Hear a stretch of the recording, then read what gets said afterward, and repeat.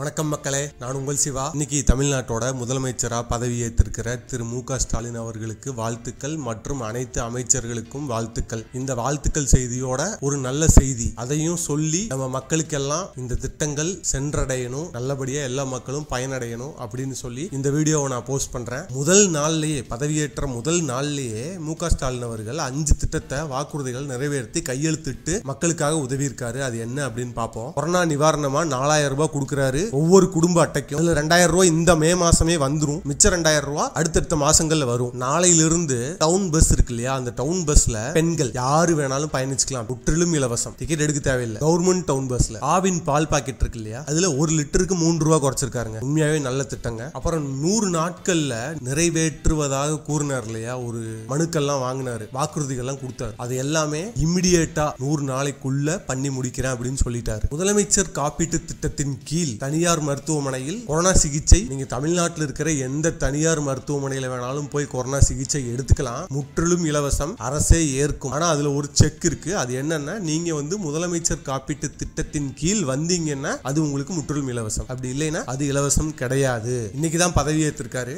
இன்னைக்கே இந்த அஞ்சு ஃபைல்லையும் கையெழுத்து போட்டிருக்காரு? உண்மையாவே பாராட்டக்கூடிய விஷயம். இந்த திட்டங்கள் எல்லா மக்களுக்கும் சென்றடையணும். அதுக்காக தான் இதை ஒரு வீடியோவா போடுறேன். முடிஞ்ச அளவுக்கு இதை உங்களோட ஃப்ரெண்ட்ஸுக்கெல்லாம் ஷேர் பண்ணி அவங்களுக்கும் தெரியப்படுத்துங்க. நம்ம சேனலுக்கு சப்ஸ்கிரைப் பண்ணிக்கோங்க. தொடர்ந்து நம்ம சேனலுக்கு ஆதரவு அளித்து வரும் அனைத்து நல்ல உள்ளங்களுக்கும் நன்றி.